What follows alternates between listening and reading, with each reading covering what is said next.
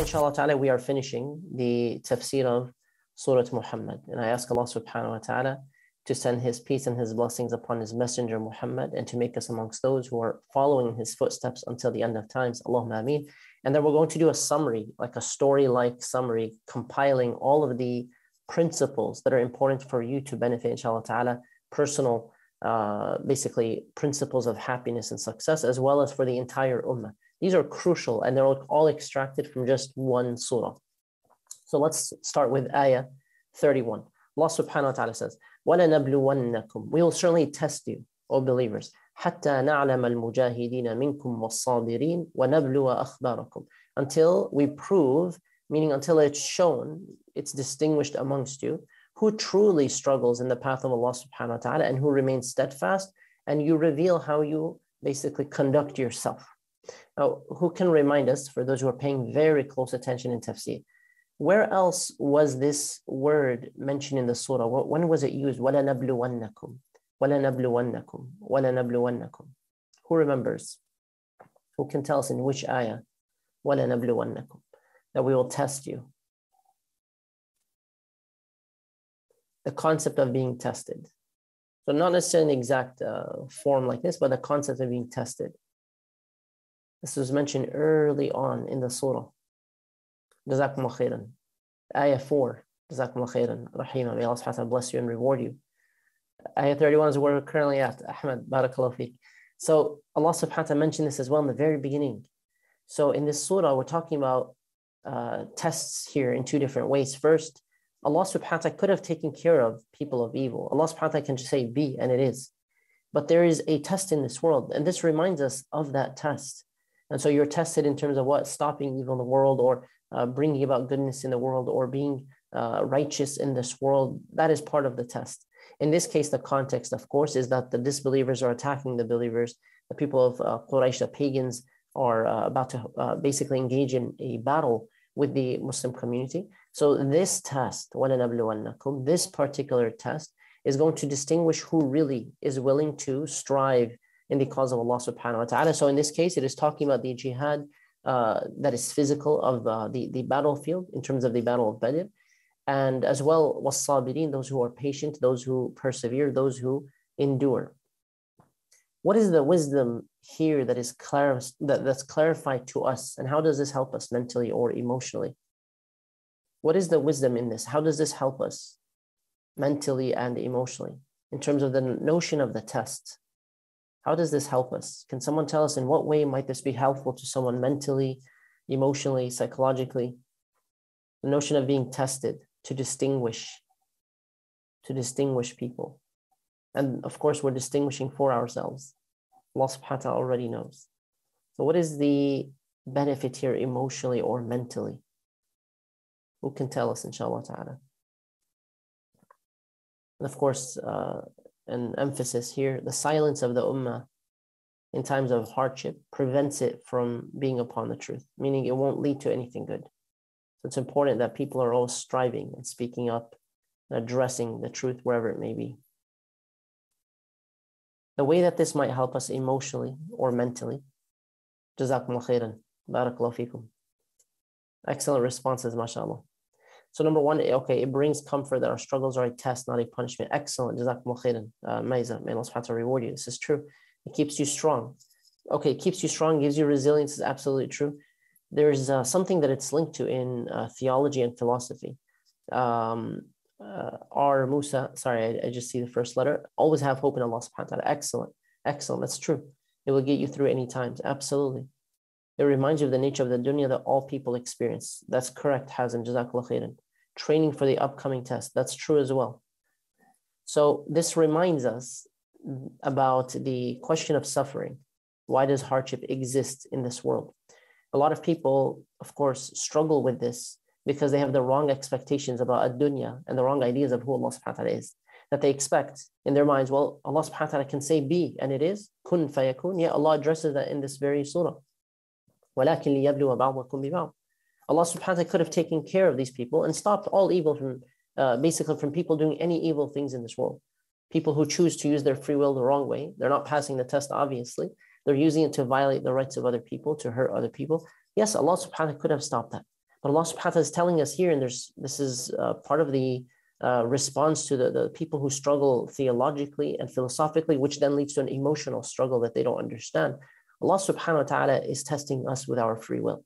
That is the, the entirety of the purpose of our existence on earth, that we are being tested with our free will.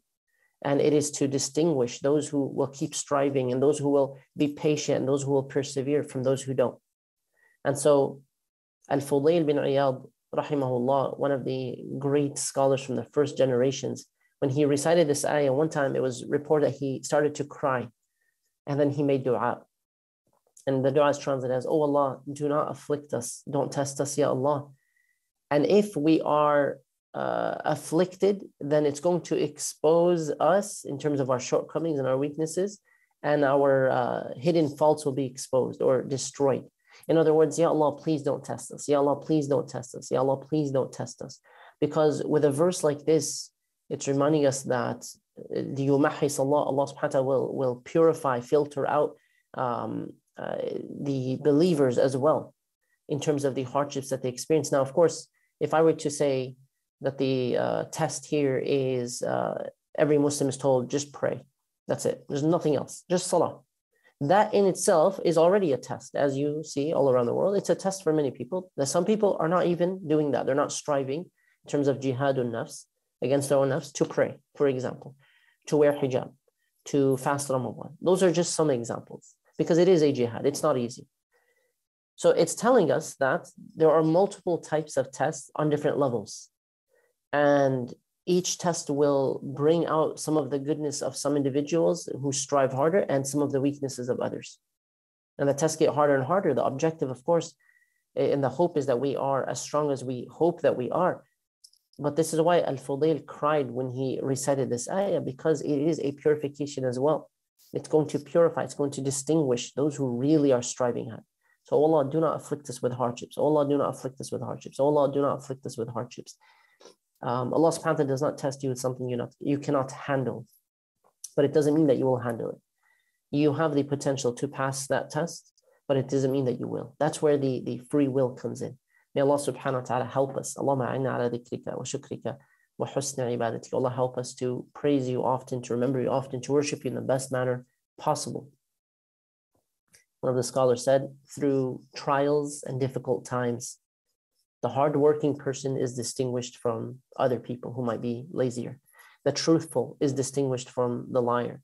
The good is distinguished from the one who is evil. May Allah subhanahu wa ta'ala protect us in all situations. Allahumma ameen. And then Allah subhanahu wa ta'ala talks about those who try once again to hinder others. إِنَّ الَّذِينَ كَفَرُوا in the next ayah. وَصَدُّوا عَنْ سَبِيلِ اللَّهِ And they hinder others. Where did you see this earlier in the surah? Who can tell us? Those who disbelieve, وَصَدُّوا عَنْ سَبِيلِ اللَّهِ do you, do you remember where you saw this in Surah Muhammad?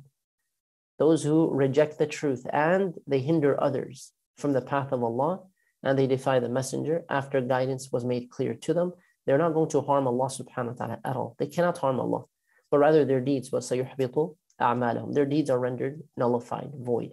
Jazakumullah khairan, Sister Rahima. Ayah 1 is correct. الَّذِينَ كَفَرُوا وَصَدُّوا عَنْ سَبِيلًا The very opening of the surah. Similar uh, wording here there's a reminder for us. Uh, these people who turn away might think, or at least the pagans thought they were harming Allah subhanahu wa ta'ala in some way or harming the messenger because they didn't support Islam. Allah subhanahu wa ta'ala does not need them. Allah subhanahu wa ta'ala is not in need of us. So no matter how much somebody disobeys Allah, they're not harming Allah subhanahu wa ta'ala, they're harming themselves. They're harming themselves with their actions and they will regret that harm. May Allah subhanahu wa ta'ala protect us. It's a type of self-oppression. And then this brings us to a principle, the principle of obedience, the principle of obedience. So for those who are writing notes and you're writing down and noting what are the principles mentioned in the surah, there is another principle here. Ya ayyuhalladhina amanu, O believers, أطيعوا الله وأطيعوا الرسول ولا تبطلوا أعمالكم. O believers, obey Allah and obey the messenger and do not allow your deeds to be in vain, to be basically wasted. Ya ayyuhalladhina amanu is mentioned in the Quran 89 times, 89 times I believe, and 89 times here meaning every time you read it, you come across it, pay closer attention. Pay very close attention. Ati'u Allah wa ati'u Rasul. Brothers and sisters, if you had to grade yourself on how much you hear and obey, how much you obey Allah subhanahu wa ta'ala, what would you, what grade would you give yourself? This is a private question. Don't, don't answer. It's rhetorical. Think about how the angels, who are of course infallible, they're only doing what they are commanded, right? They hear and they obey. And the rest of the creation hears and obeys, except for the creation that has free will, except for the creation that has free will, meaning the ability to choose. When you do an act of worship, Allah subhanahu wa ta'ala is reminding you here, obey Allah, but don't cause your deeds to be in vain, to be wasted. So don't keep bringing it up. Don't do something nice to someone and then keep bringing it up to other people. Protect your good deeds. Guard your deeds. Don't ruin them by expecting something else from people. And an activity for us here is to think about one act of worship that you are struggling with. You can write this down if you're writing notes. Think of one act of worship that you are struggling with, something you've tried to implement numerous times and you keep struggling with, or something, something that is uh, prohibited and you keep falling into it and you want to try to overcome it. There are many different things, of course, we can suggest and advise, but just so we're utilizing this ayah in a very specific way, keep re- repeating in your mind and on your tongue, Oh Allah, I hear and I obey. I hear and I obey. I hear and I obey. When you think about this frequently, you'll find, inshallah ta'ala, with different acts of worship, some support, a reminder, some motivation. Allah wa Rasul obedience to the Messenger sallallahu alaihi wasallam is because he is teaching what Allah subhanahu wa ta'ala has revealed. And the Prophet sallallahu would never teach anything, religiously at least, would never teach anything that is not part of the faith, would never uh, talk about something that's not part of Islam when it comes to revelation. When it comes to worldly matters, that's different. But when it comes to revelation, when it comes to teaching Islam, when it comes to prohibitions, the, the Prophet ﷺ is uh, commanded to do that, and we are commanded to follow and obey Allah and His Messenger. This is also uh, on a side note here, a response to those who reject hadith and they are a small movement and they are not really following any methodology, any usul, anything like that. They're following their desires. They're not consistent. It's not logical. It contradicts the Quran. This is one of the ayat that, in fact, is a response against them Obeying the Messenger وسلم, requires us, long after the Messenger وسلم, to be able to see what he said and what he uh, taught and his actions, his life, his history, sallallahu alaihi wasallam, which is the uh, process of uh, taking authenticated hadith. So the principle here is a principle of obedience. Uh, for many people, as we are, you know, alhamdulillah, completing the month of Ramadan, many people are, are looking to push themselves. Keep reflecting on this ayah. Oh Allah, I hear and I obey. Oh Allah, I hear and I obey. May Allah subhanahu wa ta'ala make us amongst those who obey Him consistently. Allahumma ameen. Ayah 34. إن الذين كفروا وصدوا عن سبيل الله ثم ماتوا وهم كفار فلن يغفر الله لهم. Those who disbelieve and they hinder others from the path of Allah and then they die as disbelievers, Allah will never forgive them. It's a really, really, really heavy ayah. فلن يغفر الله لهم. Allah will never forgive them. Where else did we see similar wording to this? Somebody already answered this. We saw in ayah 1 and then we saw in the previous ayah, ayah 32 the, the emphasis on those who disbelieve and they turn others from the truth. This is the third time it's mentioned in that way. Why? The pagans would mock Islam, harass the Muslims, would even uh, uh, take all the measures that they could when people are visiting Mecca to tell them, don't follow Islam. They'll spread propaganda. There are people like that in the world today. They may have struggled with Islam at one point, and then due to their arrogance, they left. And then they started discouraging others from following Islam. What is the frightening part of this ayah? فَلَنْ يَغْفِرَ اللَّهُ لَهُمْ What is the frightening part of this? That Allah will never forgive them. What is the frightening part of this? Who can tell us? And then I'm going to ask, what is the glad tiding in this? What is the frightening part of this ayah? فَلَنْ يَغْفِرَ اللَّهُ لَهُمْ Allah will never forgive them. Who can tell us?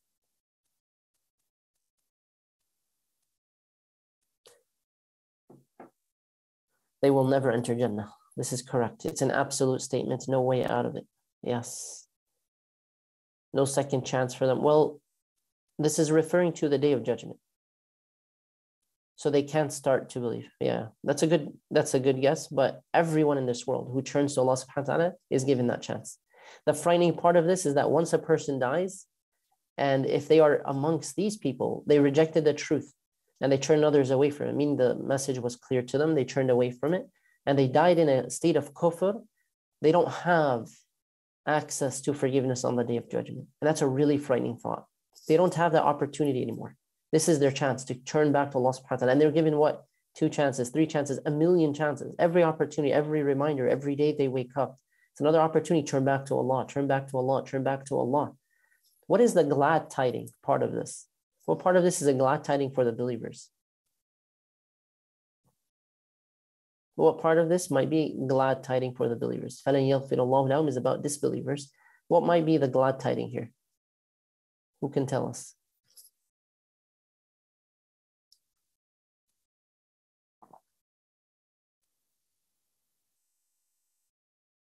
Excellent. Jazakumullah khairan, Akhi Ahmed. Allah subhanahu wa ta'ala will forgive the believers for their shortcomings. That there is hope that anything, anything other than kufr and shirk has a chance of being forgiven on the day of judgment. So there's a chance that many of the sins that the believers commit, there's some hope. Maybe they did other good deeds that will cause these to be erased. Maybe they will be uh, interceded for. Maybe it's because of a specific act of worship, dua, sadaqah that they gave, uh, the Quran they memorized that will cause some of their sins to be erased on that day. So the glad tiding part of this is that this is referring specifically to kufr, to those who reject the truth. And so everything beneath that and uh, other ayat as well, in Allah la yaghfiru an Allah does not forgive the one who commits shirk, meaning after death. This ayat clarifies that for us. So it is Quran, uh, tafsir of the Quran by the Quran. But anything below that or beneath that, in terms of the believers themselves, uh, we hope there's some way that some of those sins will be erased. Does it mean some believers will not be punished? Allah subhanahu wa ta'ala tells us that there is a punishment for certain major sins on the day of judgment. So no, of course, you, we should be afraid of those uh, consequences and do what we're required to do. But the hope here is that there's still there's still some chance of some things being forgiven on the day of judgment for the one who did not die upon disbelief. So at least at least there's a reminder here: hold on, hold on, hold on to one's faith, no matter how difficult things get. And then Allah Subhanahu wa Taala tells us in Ayah 35. فلا تهينوا وتدعوا إلى السلم وأنتم الأعلون والله معكم ولن يتركم أعمالكم this is in the context of war, the Battle of Badr that's coming up. Do not falter or ask or cry for peace, for you will have the upper hand and Allah is with you. Wallahu ma'akum. And He will never let your deeds go to waste. There's a really important repetition happening in the surah. I think some of you may have noticed up to this point. But first, Allah subhanahu wa ta'ala is with you. So do not falter. Don't get weak. Don't give up. Remind yourself with the following words Allah subhanahu wa ta'ala is with me. Allah is protecting me. Allah is watching over me. Allah is merciful to me. Remember these words and keep repeating them no matter the situation that you're in. Allah subhanahu wa ta'ala will not cause you to be uh, wasted in terms of your deeds, to be left alone. He is with you so long as you turn to Him, so long as you're holding on strong. Now, there's a reminder here for the believers. In one context, they were going to the battle of Badr, uh, meaning this would be useful for the battle of Badr, but also for the believers in general. Be strong, be strong, be strong till the very end, meaning don't give up. And likewise in life, be strong, be strong, be strong, and do not give up. Allah subhanahu wa ta'ala is with you. Wallahu ma'akum, wallahu ma'akum, wallahu ma'akum. Why do we need that reminder? Someone might say, well, I already know that. Well, you're going to need that reminder more when things get difficult. You're going to need that reminder when there's a really tough situation. And then somebody starts telling you, Are you tested in your faith? And you're like, No, Allah is still with me. Allah is with me. I'm positive. I'm convinced. And nobody, nothing can take that conviction away. May Allah subhanahu wa ta'ala grant us that conviction, that yaqeen. Allahumma ameen. Don't ever think that you are weak because of something physical or because of your own situation. Rather, give yourself a boost of confidence in knowing that you are strong because Allah is with you. لأن الله معك. Allah subhanahu wa ta'ala is with you. You are strong. You are strong because Allah subhanahu wa ta'ala is with you. Now, what is the part of this ayah that's been repeated throughout the surah so many times? What part of this verse did you notice? There's a repetition, same thing being mentioned in different forms throughout the surah. Throughout the surah. We haven't commented on it in detail yet, but here it is. What part of this ayah? not letting your deeds go to waste. Excellent. So, in terms of deeds, jazakumullah khairan, in terms of your, your deeds, your actions, This is being mentioned throughout the surah, in fact, from literally the very first ayah. الذين كفروا وصدوا عن سبيل الله أضل أعمالهم. Their deeds go to waste. They're void, nullified. So here's what we see in the surah, and I, I listed them here. Ayah 1 and number 8, number 9, 28, and 32. All of those verses, those five verses, are about the disbelievers' deeds being what? Wasted. There's one ayah, ayah 4, about the believers' deeds not being void. فَلَنْ يُضِلَّ أَعْمَالَهُم. And then you have another emphasis here as well. 33, 34, 35. They're all about your deeds. Right here. وَلَنْ يَتِرَكُمْ أَعْمَالَكُم. In the last ayah is about those who die upon kufr. فَلَنْ يَغْفِرَ اللَّهُ لَهُم. Meaning nothing will be accepted. In the ayah before that, 33. وَلَا تُبْطِلُوا أَعْمَالَكُم. Right? وَسَيُحْبِطُ أَعْمَالَهُم. 32, 33, and 35 right here. All about the, uh, the, the, the acts of worship, the deeds themselves. And so Allah subhanahu wa ta'ala appreciates your efforts. And He's reminding you that your efforts and your good deeds are preserved and they will not be nullified. So don't do anything to put them at risk. Don't do anything to put your deeds at risk. Can you imagine somebody investing so much money in a stock? So much money. Like this person just came across, let's say, a billion dollars. May Allah bless us all with rizq so we can give for his sake and be grateful servants. Allahumma ameen. Can you imagine somebody gave you a billion dollars and then you gave like people access to your passwords go ahead and log into my account no security whatsoever you're clicking on all these links that come to you opening up viruses and malware and everything else you're not guarding that thing which is precious to you your deeds that you work so hard on for the akhirah don't allow anything to take that away don't allow insincerity to waste it don't keep bringing it up don't expose your private good deeds to other people so don't do anything that will put your good deeds at risk that will jeopardize your deeds. And know that Allah appreciates every single thing that you do and it will count. You're not wasting your time or wasting your life.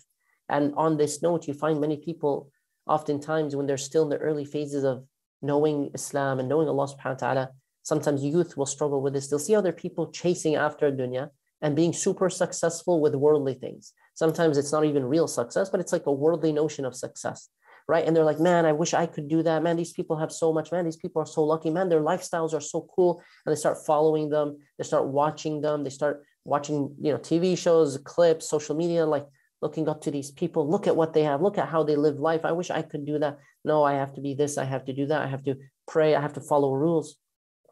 Your deeds are not wasted. Theirs are. Your deeds are not wasted. Theirs are nullified. And I'm talking here about people who reject the truth when it comes to them specifically. So focus on the value of your deed because on the day of judgment, that is the most precious currency that you have. There's nothing more valuable than that from a dunya that you can take to your grave, except your good deeds. May Allah subhanahu wa ta'ala increases in good deeds. Allahumma ameen. You're building for a life in which those deeds are worth so much more, so much more. And then Allah subhanahu wa ta'ala reminds us, and this is the last principle that we will cover uh, inshallah ta'ala. And actually, we could add one more principle to this. There's a bonus here. For those who remember in the very beginning, we mentioned we'll cover at least 10 principles in this surah. This is the 11th principle. It's about the reality of life It's a reminder because sometimes you're looking at other people and saying, you know what? I wish I could do what they're doing. I wish I could chase their lifestyles. Allah subhanahu wa ta'ala says, إِنَّمَا الْحَيَاةُ الدُّنْيَا لَعِبٌ وَلَهُ This worldly life is no more than play and amusement. وَإِن تُؤْمِنُوا وَتَتَّقُوا يُؤْتِكُمْ أُجُورَكُمْ وَلَا يَسْأَلْكُمْ أَمْوَالَكُمْ But if you are faithful and mindful of Allah, you have taqwa, Allah will grant you your full reward and He will not ask you to donate all of your wealth. The context here, the Battle of Badr, when the believers had to go, of course, some of them were giving uh, sadaqah, or rather a donation here for uh, the, the battle that was about to take place. Allah subhanahu wa ta'ala is reminding us this life is the lowly life, hayatul dunya. Ad dunya means what? the thing that is low and close, the thing that is close to you or the thing that is low. So here's the principle, or here's a reminder this life is low. So don't stoop to its level. Focus on the akhirah. It's lasting. It's lasting. It's lasting. May Allah subhanahu wa ta'ala make the akhirah our greater concern. Allahumma ameen. The lives of many celebrities, politicians, sports players, just famous people, and others are followed and their endings as well, how they live their lives, how they died. And some people spend so much time in that kind of gossip and no benefit whatsoever. There's no benefit in that kind of amusement. May Allah subhanahu wa ta'ala fill our time with that which is beneficial. Here's a question, a general one. Let's get some quick answers, inshallah. What are some common things that we might see today that are considered a form of amusement in people's lives that are wasteful, that are wasteful? إنما الحياة الدنيا لعب وله.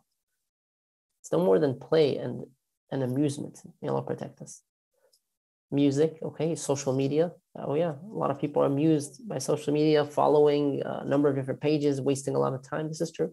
And other people are using it in the right way, mashallah. Video games, TV shows, drinking, excellent responses. A lot of people uh, basically hold on to these things as a lifestyle, right? Uh, drinking, partying, or uh, maybe playing video games all day and night. Um, people are just constantly uh, obsessed with social media, music, uh, and so on and so forth. Uh, yeah, video streaming services. So for many people, all they're doing is chasing after or spending a lot of time uh, on the, these different forms of amusement that are not rewarding at all.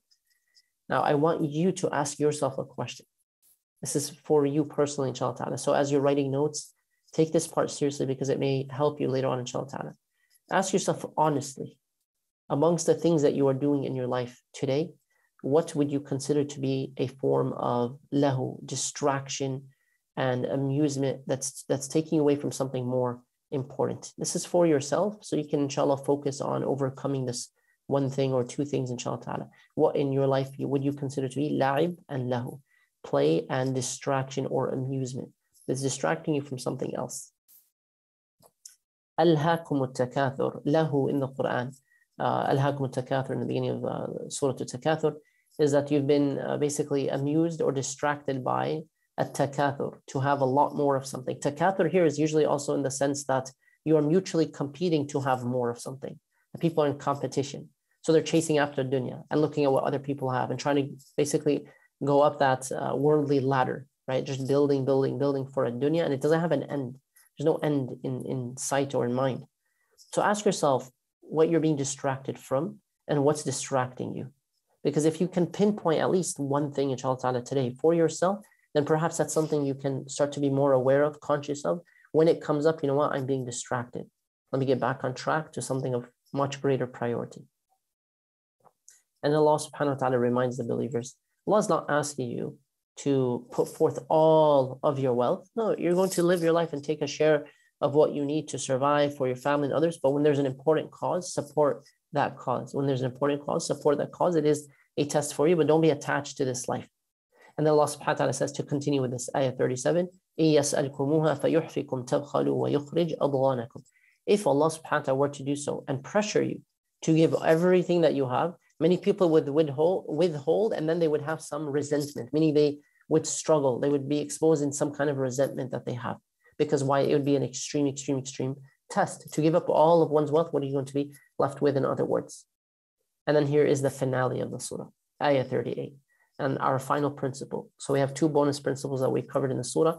Uh, the 11th one was about the, uh, the purpose of life and the uh, distractions and the amusement of life. Don't be distracted. And the last one here is an invitation to success. An invitation to success. ها أنتم هؤلاء تدعون لتنفقوا في سبيل الله فمنكم من يبخل.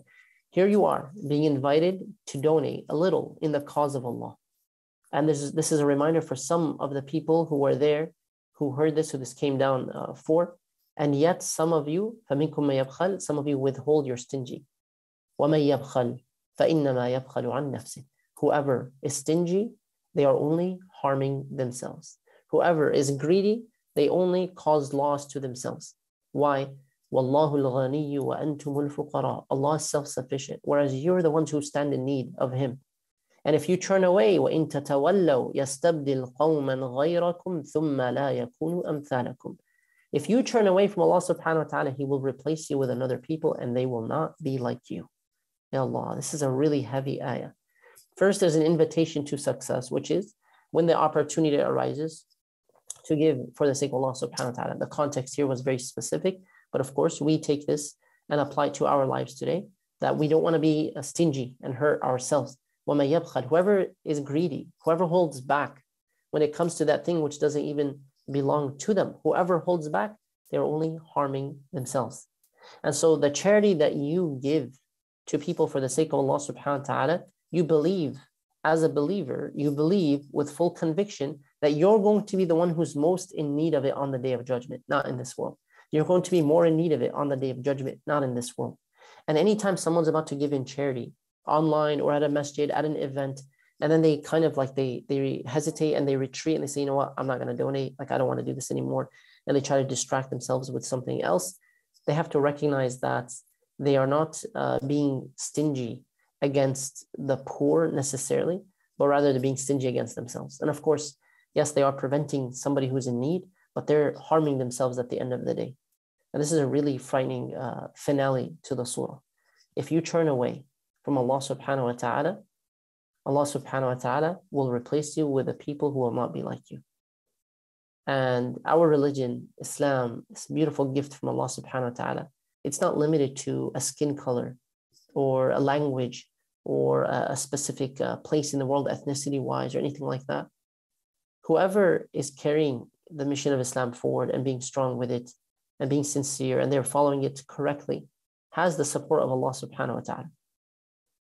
And Allah subhanahu wa ta'ala reminds those who turn away from that that Allah subhanahu wa ta'ala can replace such an individual or a group with other people. And so we want to make dua all the time by saying, Oh Allah, utilize us and don't replace us. Allahumma wa la tastabdilna. Oh Allah, utilize us, don't replace us. If you find yourself doing acts of worship, and right now this Ramadan, you find yourself doing more, you're obeying Allah subhanahu wa ta'ala, then know that Allah subhanahu wa ta'ala has chosen you and He blessed you by His bounty and His mercy. So make that dua once again. Oh Allah, utilize us and don't replace us. Allahumma sta'amilna wa la tastabdilna. There are people who are given opportunities and they reject them, they turn away from them. And remember that anytime an opportunity comes for charity and you are able to give and you don't, just remember others will be chosen to do that act of worship and rewarded for it, and you would be prevented from it. So push yourself to take any opportunity, even literally. We, we always remind people, even if it's a dollar, five dollars, as long as it's a good cause, it's something that's uh, beneficial and you're able to, something small and simple to show, Ya Allah, I'm taking every opportunity that comes my way. And remember this as well. This ayah came down to whom? This, this ayah spoke to the companions first and foremost. They were there at that time. So, how about us? Let us never wrongfully or pridefully assume that our lack of worship or our disobedience to Allah or the lack of service to His deen is a problem for the deen. It's a problem for us. It's a problem for us. And the service of Allah subhanahu wa ta'ala towards Allah and Islam does not revolve around names and individuals of people. Rather, if you leave what Allah subhanahu wa ta'ala told you is good, Allah will replace you with somebody else who is deserving of it. And if Allah blesses you with an opportunity to do good, be grateful and accept that opportunity. May Allah subhanahu wa ta'ala accept from all of us. Allahumma ameen. Brothers and sisters, this surah has so many things we can implement to change our lives and the state of the ummah today. And again, I know we cover this in a very summarized way. We could unpack every one of these principles and give its own full one hour, two hour session. But it's important for us to start somewhere. And I believe this is a, great introduction to these principles that we are in need of for our lives and for the ummah. But there's a powerful summary here, and there's also a link between the opening and the closing of this surah. The opening of the surah begins with what? Uh, basically, the, the disgrace of the disbelievers who are the pagans who are attacking the Muslims, rejecting the truth, turning others away from it. Their deeds are nullified and their sins have increased. And then you fast forward throughout the surah and you find what at the very end of the surah, once again, there's another disgrace here that's being mentioned for the one who turns away from Allah subhanahu wa ta'ala. And those who also don't support the truth when it's there. May Allah subhanahu wa ta'ala protect us. And it reminds us about the power of Allah subhanahu wa ta'ala. وَإِن تَتَوَلَّوْا يَسْتَبْدِلْ قَوْمًا غَيْرَكُمْ ثُمَّ لَا يَكُونُوا أَمْثَالَكُمْ And it's a very frightening ending. May Allah subhanahu wa ta'ala keep us grateful and guide us and make us amongst those who take the opportunities that come to us. Allahumma ameen. I'm going to mention the 12 principles in case anyone missed them. The first principle, and if anybody here has notes that are typed up and you want to share them with everyone else, feel free to do that.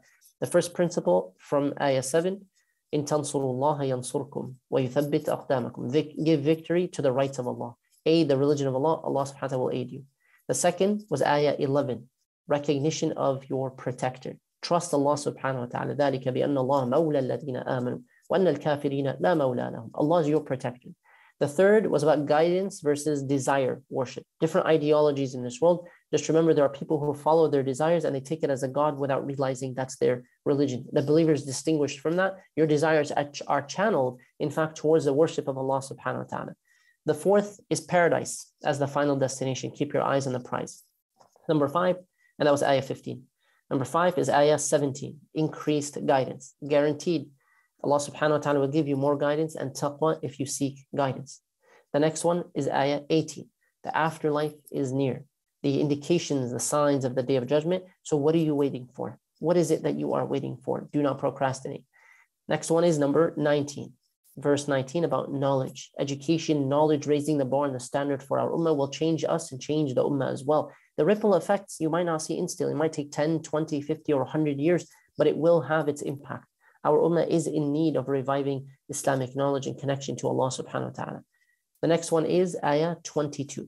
It's about family, preserving the unit of the family and having unity, avoiding divisions on multiple levels, reconciling between the hearts of people it's uh, considered a form of evil to split up and divide the families. May Allah protect us all.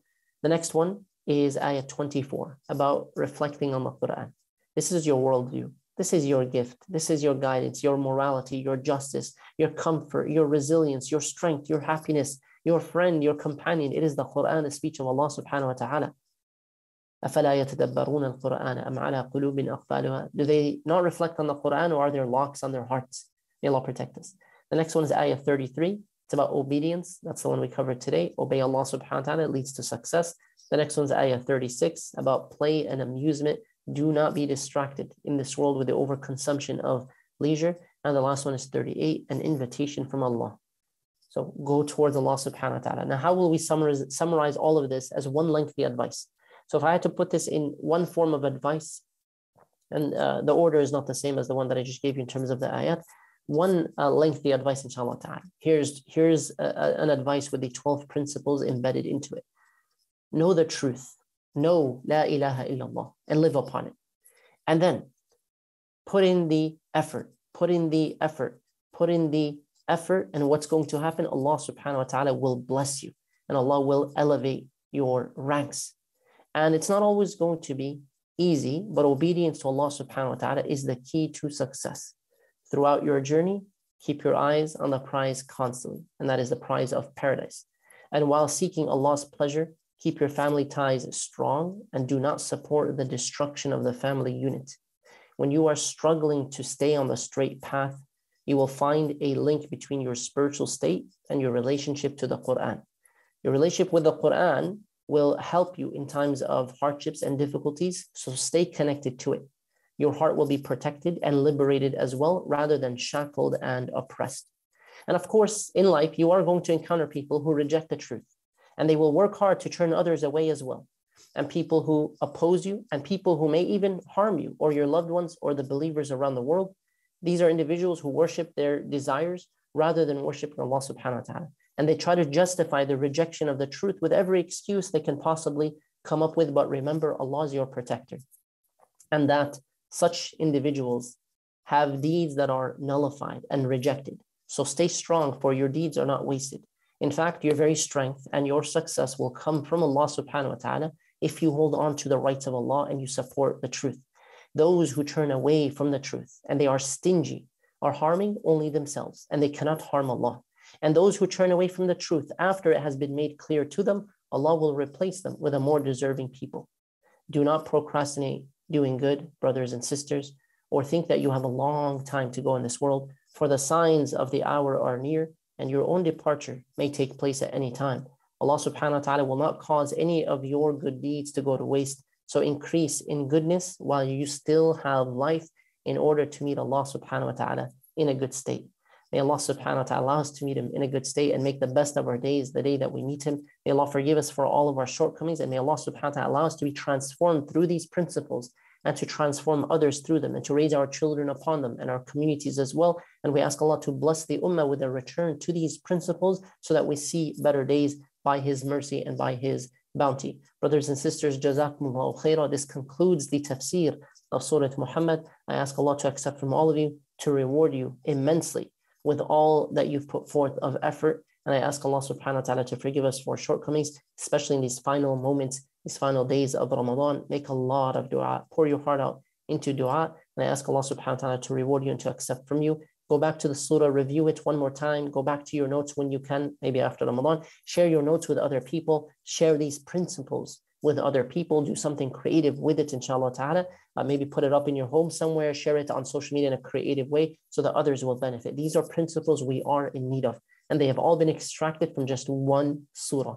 May Allah subhanahu wa ta'ala accept from all of us. May Allah subhanahu wa ta'ala bless you and reward you. May Allah subhanahu wa ta'ala reward the ICD and AMS. May Allah subhanahu wa ta'ala accept from everyone who facilitated this. Allahumma ameen. Wa sallallahu ala nabiyyina Muhammad wa ala alihi wa sahbihi ajma'in.